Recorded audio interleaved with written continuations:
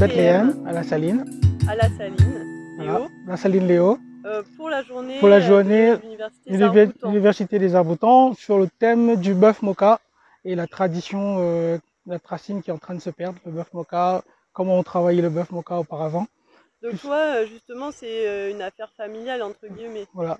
Le bœuf moka, c'est un truc familial, c'est de père en fils depuis mon, mon- euh, l'époque de mon papa. Ouais. Je l'ai- je l'ai repris et mon petit garçon aussi qui, qui est très motivé contre euh, le, le bœuf. Donc voilà quoi. Donc on essaye de tenir la, la race moka pour qu'il est, est en train de se perdre. Il, a, il y a moins de bœuf moka qu'avant, mais il y en a encore. Donc le bœuf moka est utilisé pour euh, travailler. euh, avant, c'était vraiment un moyen de transport. voilà, le bœuf, euh, la charrette c'était un moyen de transport pour transporter la canne à, à l'usine, à la balance. Donc voilà, on a travaillé beaucoup, énormément sur la charrette bœuf ici. Et la parcelle qui est là où je suis dessus, il était payé avec la charrette bœuf à l'époque. Il était payé sur 30 ans. Mon père a, commencé à acheter le terrain en 1974. Donc voilà, cette parcelle que je suis dessus aujourd'hui, qu'on a fait la ferme de Bethléem, il y a, il y a une grande histoire euh, au niveau du bœuf moka qui est l'origine de l'Ouest, au sud de la Réunion, mais on a beaucoup de...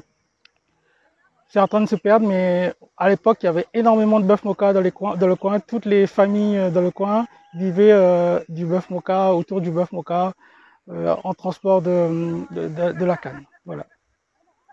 Tu sais euh, combien il y avait de bœuf moka sur l'île ou comment c'était réparti par rapport à aujourd'hui, je veux dire? Aujourd'hui, on a à peu près 1500 bœuf moka à La Réunion, mais à l'époque, on parlait de- de- des milliers. Énormément de, on va dire 30-40 000 de bœuf moka parce qu'il y avait toutes les familles réunionnaises, il y avait un troupeau qui venait à droite, à gauche.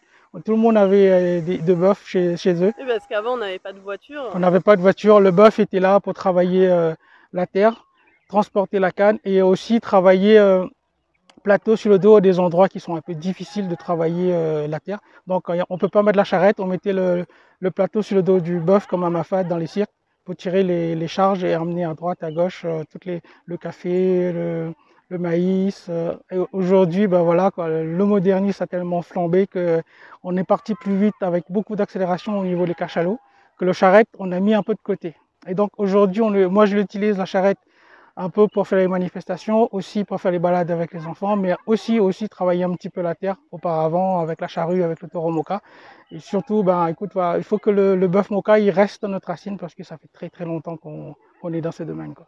Et comment toi, du coup, tu arrives à faire euh, perdurer, entre guillemets, euh, cette activité aujourd'hui?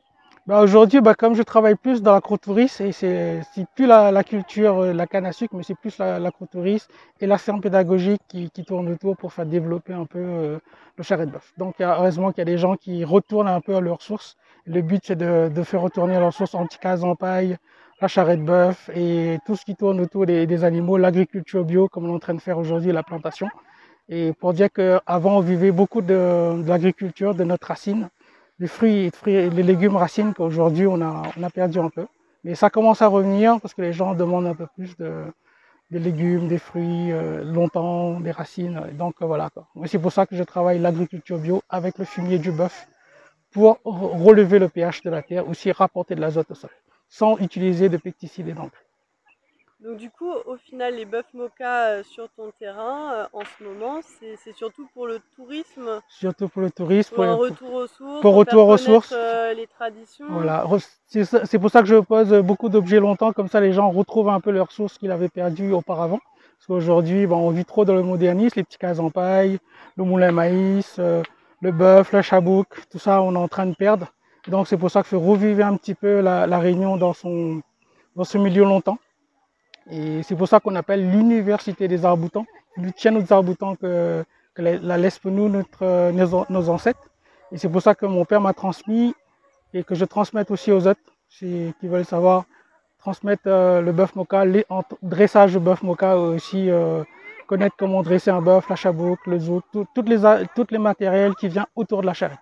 Et est-ce qu'il y a encore des personnes qui élèvent les bœufs moka dans la pure tradition, entre guillemets, comme ça se faisait avant Bah, aujourd'hui, bah, les, anciens qui ont l'habitude de travailler, le- qui ont l'habitude d'élever le bœuf moka, même les vieux qui ont toujours l'habitude, ils continuent à élever le bœuf moka. Mais euh, plus le même terme, euh, pour dresser, bon, le bœuf moka, ils ont l'habitude, ils continuent à élever pour, euh, pour vendre un petit peu de la viande, mais c'est pas une grosse consommation de viande. Mais le bœuf moka, il est, ce qu'on a aujourd'hui, c'est pour bien présenter la Réunion dans notre, dans notre élément en fait. Surtout ça. D'accord, donc ça n'existe plus trop. Ça n'existe plus trop. Donc c'est pour ça qu'on tient un peu la racine. Et quel est l'avenir euh, de cette, de ces, bah déjà de la race moka?